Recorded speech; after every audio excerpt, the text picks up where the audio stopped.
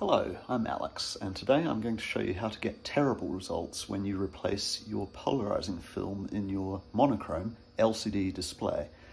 LC display. Let's get straight into it. So this, as I'm sure you'll recognize, is a Compaq Concerto. I have a photo of it here. This is what it looked like before. And the display showed typical vinegar syndrome symptoms. The very corners of the screen were perhaps acceptable and then everything else was not. So this has degradation on both the front and the rear films. And you can just about see what's on the screen, but it's by no means pleasant to use. So you order some replacement polarizing film and you get stuck in. And it's a horrible job involving a lot of scraping, softening the adhesive with isopropyl alcohol, uh, scraping again. I found a metal blade is the best way to get the surface clean and, and that's the reward for uh, probably uh, 45 or an hour's worth of scraping and then you move on to the back so you take the back film off as well and again scrape it clean and eventually you get yourself to this position here. Now what I've done is I've placed another film in the back already and I've got another piece of film here so you can see the magic when it comes into place. Hmm. Let's press the uh, space bar. There we go. And this is what I call a purple scale display. And you can see we've got yellow and purple.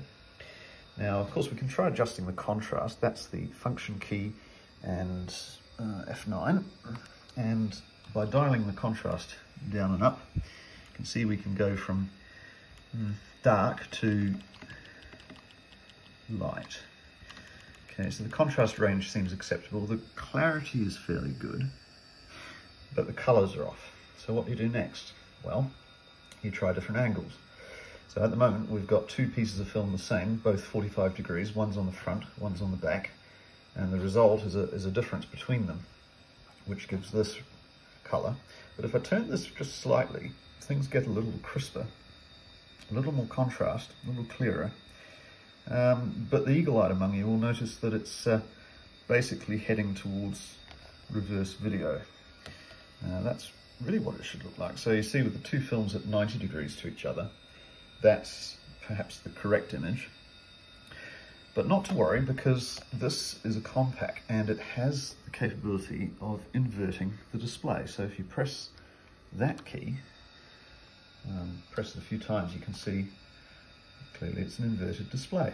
So how do you know which is the correct way? Well, if you display that contrast control, that's actually correct. So that's the correct appearance with white background. And so with the film at about this angle, that's actually a correct result. But it's still purple and yellow. Now what I chose to do instead was to run it with the films at 90 degrees to each other and invert the display. And I feel this gives colours which are a little more typical. If I bring up the contrast control, you can see it's inverted. But it doesn't really matter because that inversion state seems to cross across DOS and Windows. It's any situation you use the machine, you can have it run like this. And I experimented a lot with angles and with films from different manufacturers. Here is a different film. And you can see that it's just slightly Maybe it doesn't come across on camera very well, but it, it's, actually I'm starting to wonder, starting to wonder whether that's any better. Let's uh, try the two side by side. So there is my choice, and here is the alternative. Hmm, perhaps the crisp green colour is better, I don't know. And you might think, well, why can't I just have the right colours? Why can't I have white and grey, which is really what I wanted? Well, to do that, you need something called a compensator film or a retarder layer. And no, I don't know where you get either of those. I just know that that's what they're called. This is an FSTN, a film compensated super twist nematic LCD. And film compensators is basically a fancy way of saying we had special films and you don't. And so that's why when you buy this polarizing film, you'll never quite get the same grey colours out of your monochrome display. The best you can hope for is something reasonably clear. And so, well, I'm doubting myself now, but I, I carefully cut this piece at the angle that I felt gave the best results.